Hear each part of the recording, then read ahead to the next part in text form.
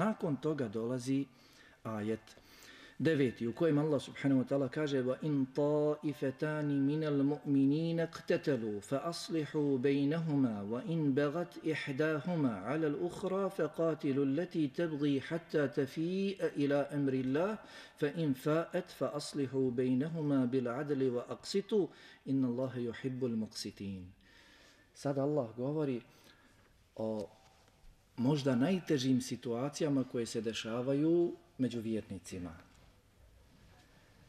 Ako ti u tim najtežim situacijama Allah pojasni kako da se ponašaš i ako se ponašaš u tim najtežim situacijama za vjernike, onda zasigurno u blagostanju trebaš biti još bolji. Ako se od tebe traži da budeš ovakav, pa kaže kada se dvije skupine vjernika sukobe, kada hoće da ratuju jedni protiv drugih, da dignu oružje jedni na druge, To je teška situacija, prosipanje krvi. Ako se tad traži prisebnost, ako se tad traži lijepo ponašanje, odgoj, pomirenje, želja za dobrom, nepriklanjanje jednoj ili drugoj strani, već izmirenje, onda dakle u drugim situacijama, u blagostanju, trebamo biti još bolji jedni prema drugima. Pa Allah subhanahu wa ta'ala ne navodi kroz Kur'an sve situacije koje, na koje čovjek nailazi kako šta da se ponaša, već ti ovako zna pojasniti najgore, najteže situacije, onda u svim drugim situacijama trebaš da budeš takav ili još, ili još bolji. Pa kaže, wa in ta'ifetani minal mu'minina qtetalu fa aslihu bejnehuma. Kada se dvije skupine vjernika sukobe, pa iz ovog detalja vidimo da sukob među vjernicima ha, nije razlog da neki od njih prestanu biti vjernici. Ako je možete pratiti. Kada jedan digne oružje na drugog, jedan vjernik na drugog, to dakle nije dijelo nevjerstva. To jeste veliki grijeh, opasan grijeh, ali nije dijelo nevjerstva. Došlo je u hadisu da ispravno razumijete hadis kad čujete ovaj ajet i hadis. U ovom ajetu Allah prejasno kaže وَإِن طَائِفَتَانِ مِنَ الْمُؤْمِنِينَ Ako dvije skupine od vjernika, Allah kaže mu'minin. A došlo je u hadisu ubistvo vjernika je kufr. Kitalu mu'mini kufrun ubistvo vjernika je nevjerstvo, a njegovo psovanje je grih, fisk. Kako razumijeti ovo? Dakle, malo nevjerstvo, mali kufr, jer je došlo kitalu mu'mini kufrun, kada dođe u šerijatskim tekstovima u ajetu ili hadisu neodređeno kufrun, ima značenje malog nevjerstva. A kada dođe el kufr, el kufr, kada dođe sa određenim članom el, onda ima značenje velikog nevjerstva.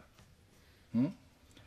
I jehli sunnetu al džamat, oni koji slijede poslanika, ali i njegove ashabe, kada odgovaraju na neko pitanje, kad treba donijeti sud o nekom pitanju, sakupe sve tekstove koji govore o tom pitanju, ajti hadisi, onda dadnu odgovor.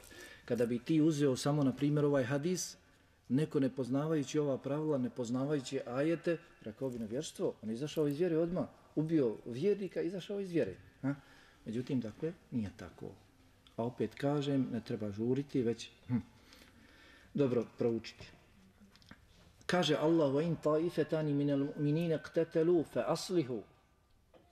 Ako se dvije skupine vjernika sukobe, došlo je fe, fe, fe aslihu. Požurite da ih izmirite prosipanje krvi nikome nije drago. Sukob među vjernicima nikome nije drag. To ide u korist i radost samo drugih, nevjernika. Ne smijemo se radovati tuđoj nesreći, prosipanju krvi.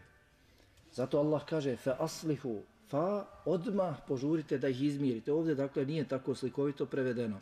Ha? Izmirite ih, ovdje je samo rečeno. Međutim, rekao sam na prošlom predanju fa, kad dođe veznik fe, ima značenje za požurivanje ili taqib, za požurivanje. Požurite da ih izmirite.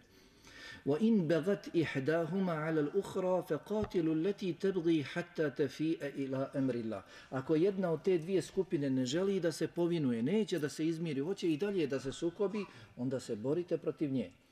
Kako kažu komentatori, ovo borite se ne znači sad da se ubijaju oni, da se prosipa njihova krv, nego svim vidovima borbe mimo ubistva samo dakle da se oni primoraju na primirje. Dakle, poduzeti sve represivne mjere samo da se oni prihvate primirja. Fa in fa'et fa aslihu bejnehuma bil adli vaksitu. Primoravajte ih, pa kada pristanu da prihvate primirje, odmah ih pomirite. I budite pravedni među njima. Ne dakle, ha, vi ste ti koji niste htjeli primirje, vi ste toliko godina nas obstruirali, vi ste toliko godina uh, Eh, rad obstruirali, ovo ono, e čekajte sad da mi vama vratimo tolike godine nazad. Ne, to dakle nije osobina vjernika. Subhanallah, toliko ashaba, Khalid ibn Velid, nijednu bitku nije izgubio. Nijednu bitku nije izgubio, ali prihvatio islam, sve zaboravljeno. Allah oprostio sve, i brat musliman na prvom mjestu, nema više spominjanja, vodio dakle Uhud, on je predvodio na Uhudu bitku. On je zadao udarac muslimanima. Zbog njega su strijelci na Uhudu, on je obišao okolo i pobio i sve, ali prihvatio islam, sve zaboravljeno.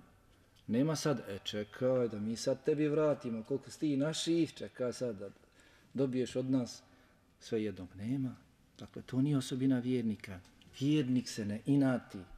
Vjernik postupa, govori, radi, donosi mišljenja, radi Allaha, ne radi sebe. Zato je rečeno šta je duši najgore, šta je duši najteže. Jedan od naših prethodnika je bio pita, kaže ihlas, iskrenost. Što? Zato što ništa nema za nju. Sve je za Allaha, nema ništa za nju, daj makar vam, ni malo. Ko je iskren, kako kažu 99% da je za Allaha, jedan za tebe, to nije iskreno. To Allah ne prima. To Allah ne prima dijelo. 1% za sebe, 99% za Allah, Allah neće to primiti. Allah će 100%, 100% za njega. Nema ništa za tebe ili za nekoga drugog. Hm? Pa dakle, nema, vjernik se ne inati.